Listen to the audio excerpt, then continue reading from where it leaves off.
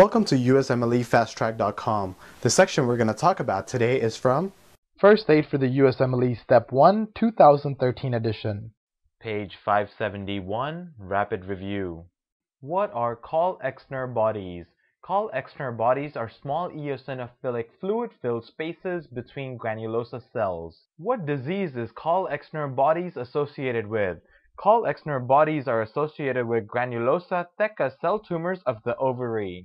For more information on this topic, click on the link in the description section below. For a full USMLE Step 1 review, be sure to check us out at usmlefasttrack.com where we help you review the entire first aid for the USMLE Step 1 with high quality videos and hundreds of detailed pictures for a better understanding of the material.